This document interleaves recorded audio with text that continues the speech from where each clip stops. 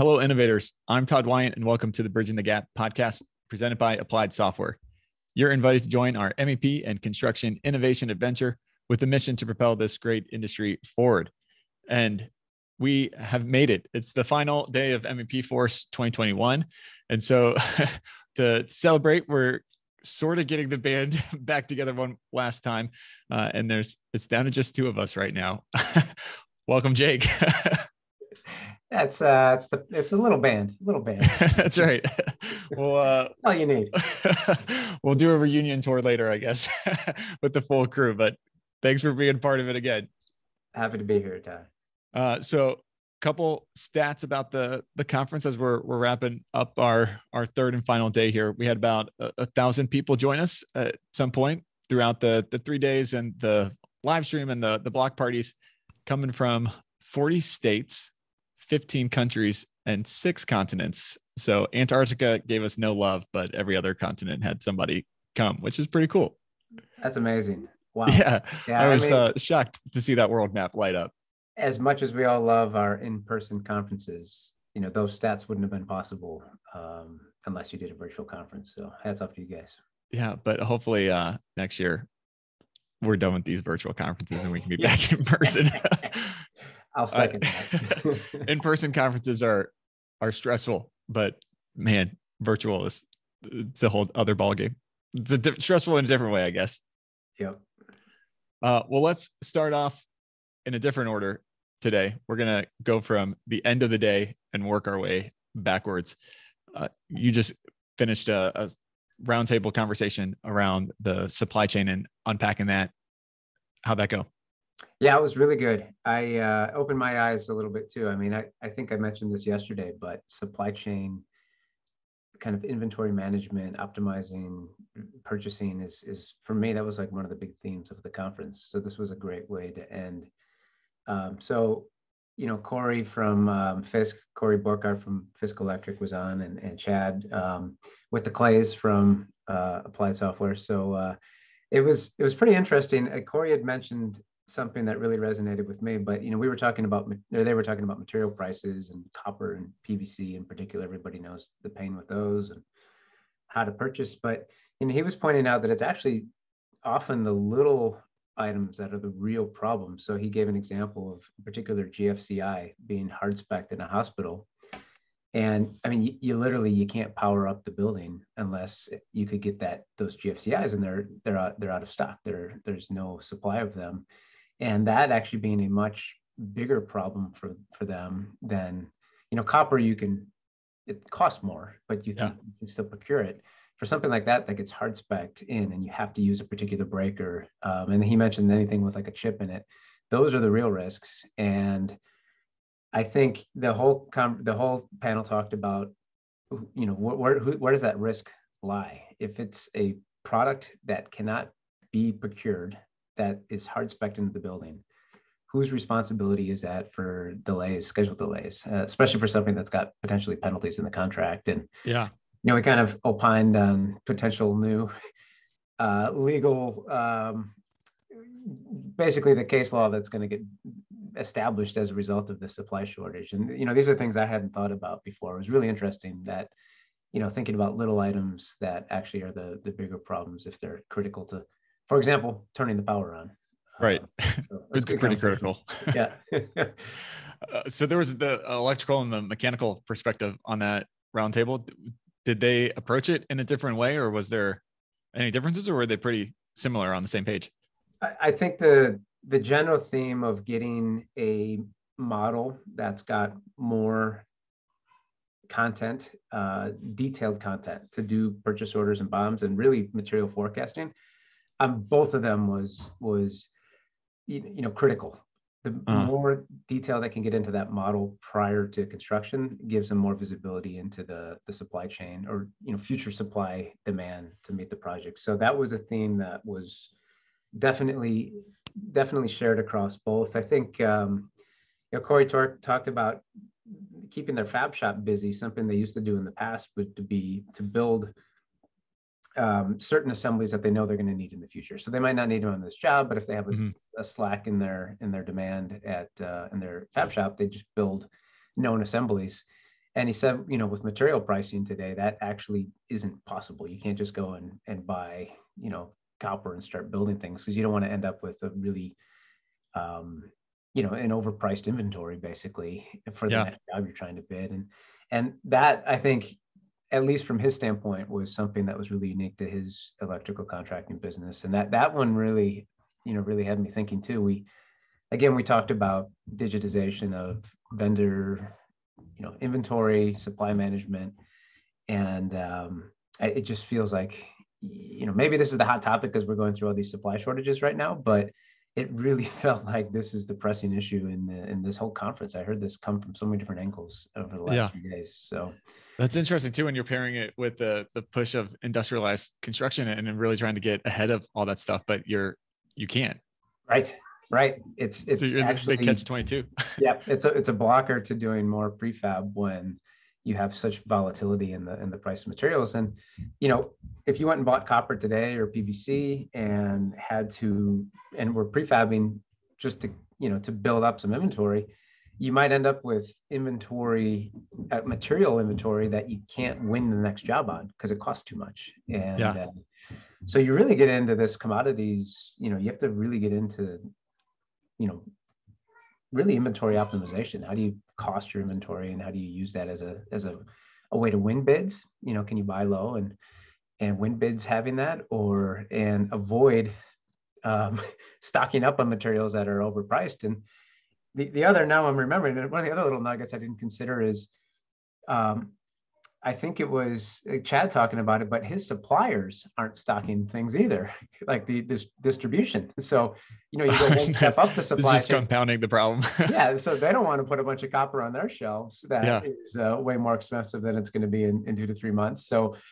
you know, you don't you don't just go back to your supplier and solve the problem. It's like it's this it has this ripple effect all the way up the up the chain, which is pretty interesting.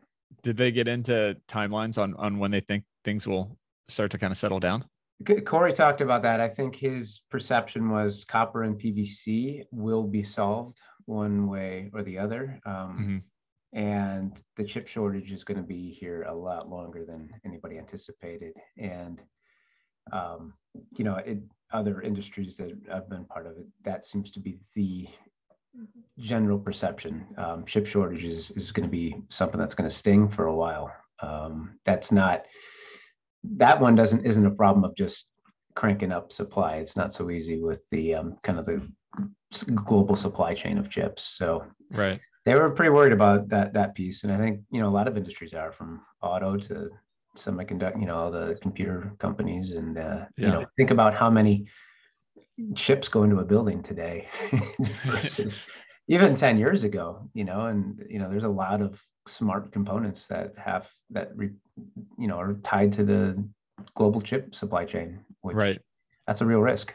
Yeah that connectivity is the you know it's it's been such a big craze over the, the last few years of, of pushing it more and more and getting more things connected but then you have something like this and yeah do, do then? Yeah yeah and uh that one's i think it's going to take a while to to uh, ramp that up. You know, it's part of the infrastructure bill, right? I mean, building more yeah. capability um, here in the U.S. to to make chips. So, uh, unfortunately, those plants, uh, Intel doesn't just crank out five new uh, fab chip fab plants. it would be nice, a couple but, months. Yeah. yeah, we get back to the same problem. This is like now you got to go build fab plants. You can't build them because you don't have the chips to build them. Right it's right. uh, yeah, it's a nasty spiral, Todd. That's right.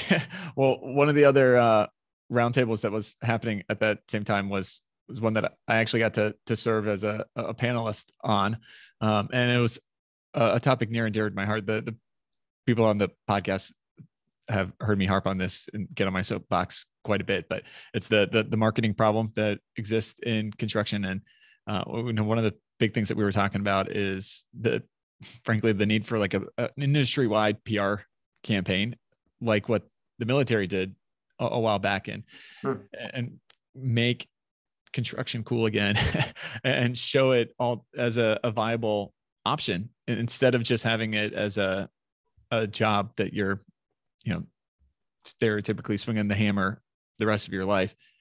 Show all the options and the, the career paths and the opportunities that exist in construction and the tech and the innovation that's happening in this space is really needed. And so we were unpacking, you know, when did construction become uncool and, and what are some small things that we can do and big things that we can do as an industry to, to help address this problem because you know, you have the supply chain issue, but you also have the, the skilled labor shortage that everybody's tired of talking about. So it was a yeah. really interesting conversation. That, that's another one you don't solve overnight. You know, no. it's uh, um, I you know one of the things that bothers me about that conversation is is it's always like a college or trades, and I think a lot yeah. of people don't realize that you know most of the skilled trades apprenticeship programs actually do come with a college credits. And, you know, if you go through most of the UA training, for example, is actually tied to a local community college. You get a college education. Eh, you know, you get college credits for going through the apprenticeship. Right. And you're getting paid while you're doing it. And, you know, and you're learning a, a pretty uh, viable skill but it isn't like I hate when people say it's either college or or construction because you can go into the construction path and get a college degree and get paid to do it, get paid for your degree and get paid while you're getting your degree. And yeah. it isn't like college or construction. It's this is like the secret both that I don't think people talk about it that way. And it, I see it on LinkedIn all the time. It drives me nuts. Oh, you know, this guy went to college. this guy went into construction. I'm like, yeah, no, that guy got a college education too. You, you idiots. It's, it's, it's, it's, even better than it seems on. Uh, right. Yeah. I don't know if you guys talked about that at all, but that's my like pet peeve. No, that's a great point. You should. uh, we we didn't dive into the. It can be the the both and. Uh, we centered a lot around the awareness of it, of just talking about it. You know, the construction has been so passive in letting other people kind of define the narrative of what the construction industry is and and what you do in construction that, that as a whole uh, construction doesn't take ownership of telling the stories of what's happening and and when they do they're telling the this big flops and failures and that's an easier story somehow to for construction to share than the more positive like this was a success this was a win. So we were unpacking why is that? Is it stem from the kind of humility aspect in construction that mm. you don't really want to brag? You you want to, you know, build a building, get your work done, and, and move on to the next project, or is it something else entirely? Is it that people just aren't good storytellers, or uh, you know? Then we we dove into a little rabbit trail of don't position yourself as the the hero of the story. You're you're the guide of the story. Nobody cares about what you particularly do. It's, it's what can you do for somebody else. And so listen to their pain points and frame your story and your narrative to what they're talking about and, and thinking about. So um, it was it was a pretty wide ranging conversation.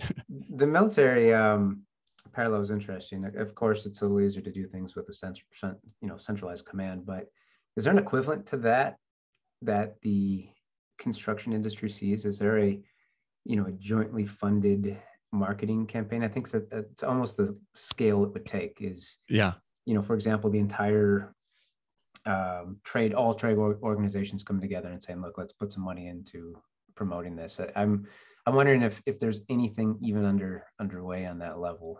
Um, well, that was one of our stumbling blocks that, that we kept coming back to is, is who, who takes the lead yeah. in, in that whole effort. That's a big undertaking and who takes the lead in that. And so um, you know, Travis Foss was one of the people on, on the panel. He has the Construction Dorks podcast, and they do great things. Uh, and so having kind of those voices around creating the awareness, that's a, a factor in it. Um, Brandon Patterson, I don't know if you're familiar with him, but he's a uh, with the Iowa Skilled Trades. Hey, Amy, how's Greetings it going? From United Club. oh, Welcome. Glad you could join us. Thank you. Only for a few minutes because I have to go catch my flight, but I didn't want to miss the opportunity to say thank you for an incredible event. well, thank you for for being part of it for sure. Amy, we've just been here kind of fumbling around, not knowing what to say. So thank you for finding some, some structure. I'm not sure I'm going to help that right. situation. but we know the team is back now. since you've dil- diligently watched all of the sessions today, we're looking forward to your. Um, uh, oh, excellent. Well, uh, yeah, yeah, just me racing through the airport. so we were just talking about how to make construction cool again and bring people into the industry that maybe haven't given construction a, a fair look or, or shake or have a misconception all, about it's it. It's already cool. Like it doesn't right? have to be cool again, right? The people who are in it love it. I have to say, like some of the people who yeah I've been working with, like they just get it. And and I think that the sad thing is is that the skilled trades doesn't seem sexy to the next generation because I don't think we've taken the time to kind of market to um, the next generation. And I think, you know, I, one of the projects that we worked on with a couple of the unions um, was about, uh, and actually a couple of the J, uh, junior colleges in uh, Northern California, was how do we, it's not just about the training, right? We want to get people into training, but even before that, how do we tell the story of what it's like to be a tradesperson mm. and the incredible um, skill and nuance that it takes and the incredible technology that is coming that is going to support this next generation. Mm-hmm. So I think that that is something that we're, we're, you know, all in the industry certainly thinking about, um, and and and then also finding ways, which we touched on a little bit yesterday, of, of, knowledge capture, because you have these incredible, you know, artisans who have been doing this for years, and we don't want them to retire without sharing their wealth of knowledge. And I think that's another aspect that um, you know, immersive technology in particular can be helpful with. Um, actually, wearing one of these devices. Uh, um, you know, capturing exactly how something is completed and then using that for training to sort of train this next generation. And um, yeah, so I think it's, uh, it's, it's, it's an exciting time. We just, we're not doing a good job marketing it.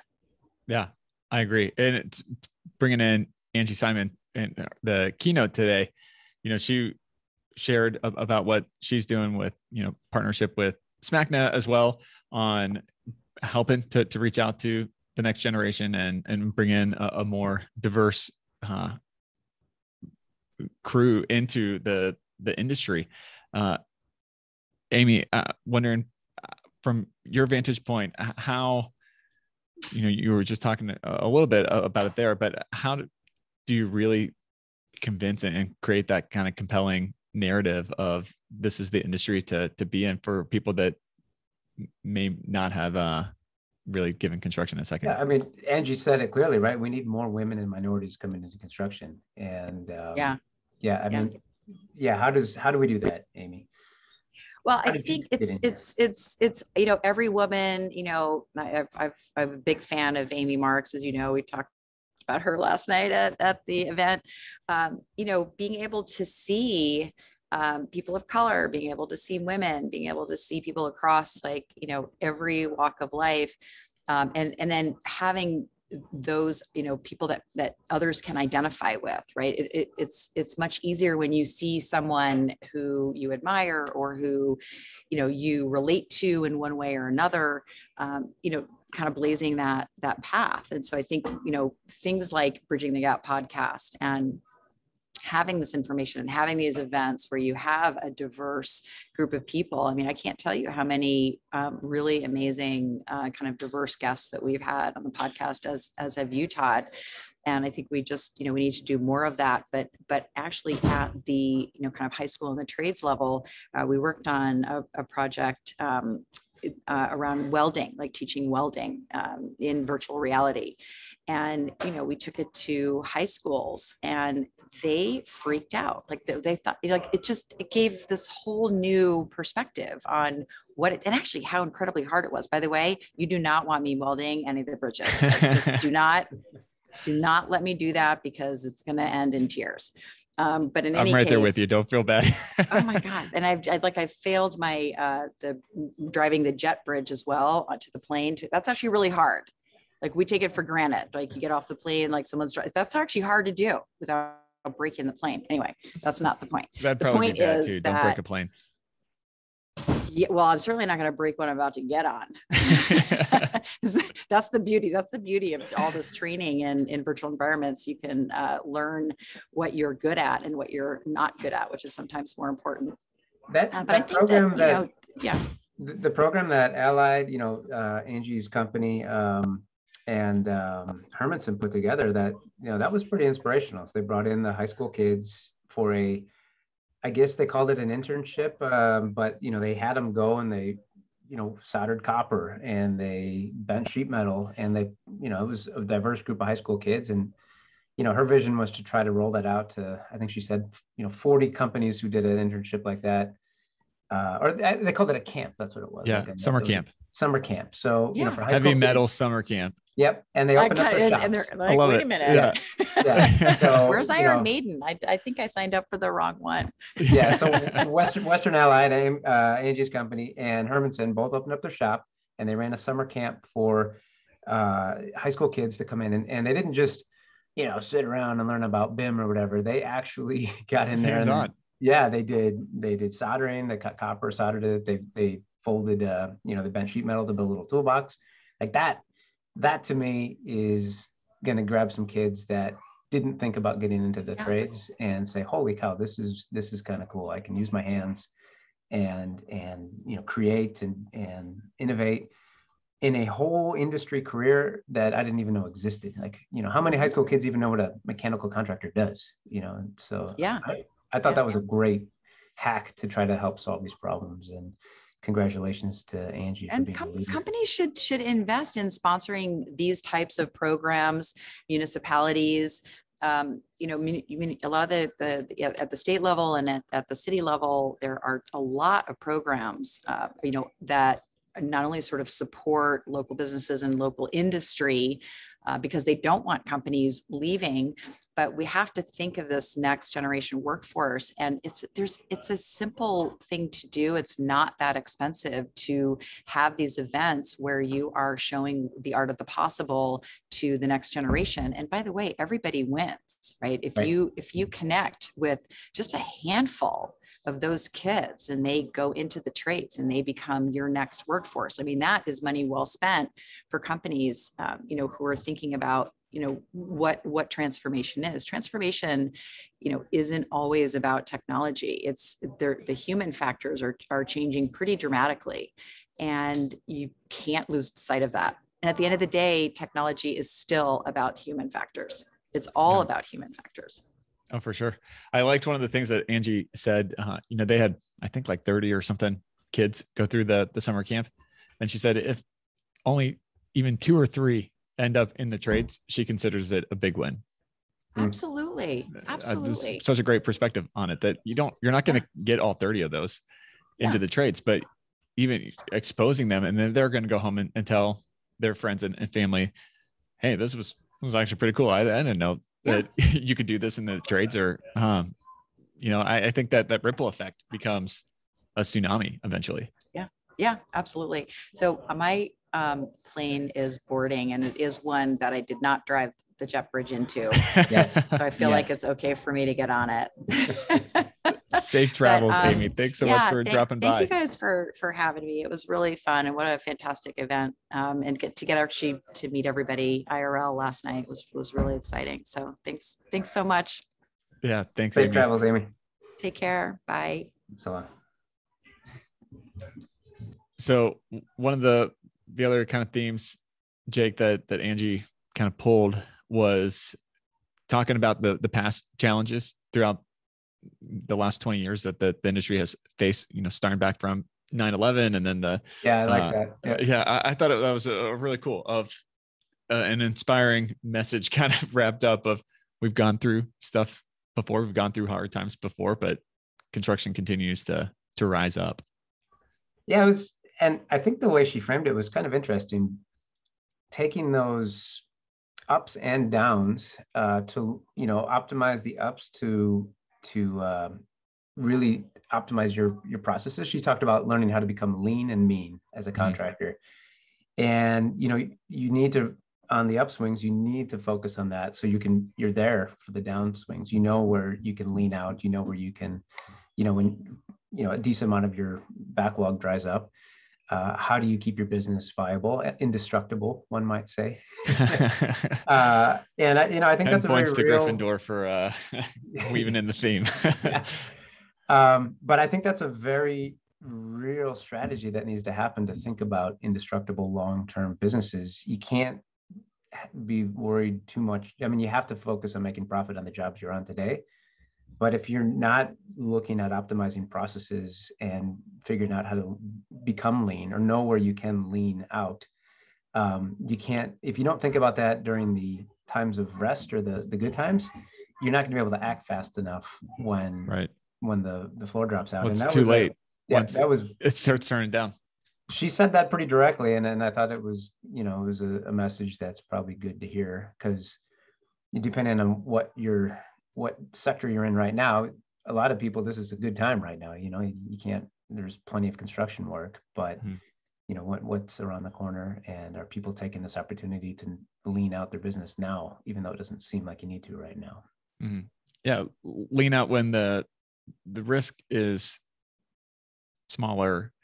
Obviously, there's always risk, but you know, if you're leaning out while you're going in a in a bit of a nosedive, the risk is a lot higher.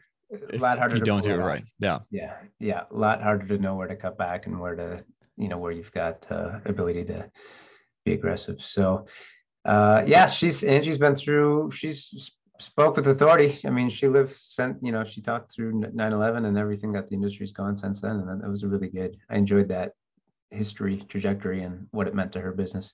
Yeah, nice. Uh, any other takeaways from her talk or MEP Force in, in general as we we start landing our our plane as Amy's plane takes off? uh, yeah, I mean, the, the other piece she talked about was prefabrication and just the need to de-risk parts of their business by learning how to prefabricate, um, both from a safety standpoint and you know uh, variability standpoint on job sites. So it, that that's certainly a conference theme, Todd. We've, we've heard that from you know nine different angles in this in this talk uh, Yeah. or in the in the three days in the course of the the conference. So I don't think that was a surprise.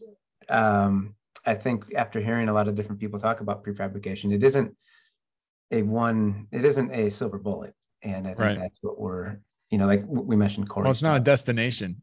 I think Yeah. that's where people get tripped up. They think, "Oh, I'm prefabbing," you know, yeah, I'm mission done. accomplished. Yeah. Yeah, there's there's a lot that goes into that, and that's a it's a complicated process of continual improvement. You're, it's it's not a you know, it's not a destination. It's a it's a journey for sure. Yep, yep. So it was a, uh good three days. You guys pulled together some fantastic materials, and uh, excited to go back and watch some of these that uh, I missed uh, or was double booked on. So um, I'm, Yeah. I'm sure over soon that'll all, they'll all be available. Is that true? True statement? Yeah, all the all the classes will be available on demand. Today's will be available tomorrow, but by the time people are listening to this podcast, they should be up and and running, um, available on demand. So yeah, We we took um, at Dado we took the conference materials and have added them to your Dado project. So if you uh, everybody here at the conference uh, got a free Dado license, you can log in and search for any of those conference materials, uh, presentation materials. Those are all available now as well. And of course, um, Todd and the applied software team would love more feedback forms filled out. We have a whole bunch of them. So thanks to everybody who did that. But I'm sure the more data you have on how this conference went, the better the next one gets. So um, absolutely. that's still open for anybody who has time to go in and complete another feedback form. Awesome. For those that don't know the the the structure or the the logic behind it, what do you mean that you can search the the slide decks and everything? So we, uh, you know, Dado uh, is a search engine. Effectively, we typically are used on project documents, like drawings and specs and submittals and RFIs. Um, but Dado can search anything. So we've taken the conference materials and added them in there as documents, effectively. And somebody can come in and just type in a search like, um, you know, prefabrication, electrical prefabrication, and any of the conference materials that talked about prefabricating in electrical shops will will will show up as search results and you can access them you can download them you can you can save them and share them so um, the same as you would have an experience of searching through project documents you can search through the conference materials um, all the same powerful search and filters and everything are available Very cool. Awesome. Well, Jake, thanks so much for being a part of MEP Force on this podcast, and big thanks to to Dado for for helping make this a, a, successful event. Hey, it was all you guys. Uh, nice work. It's been a pleasure to be part of it and looking forward to uh, more of these in the future. Thanks, Todd. Sounds good. Now it's time for me to go home and, and sleep. yeah, that's a good idea.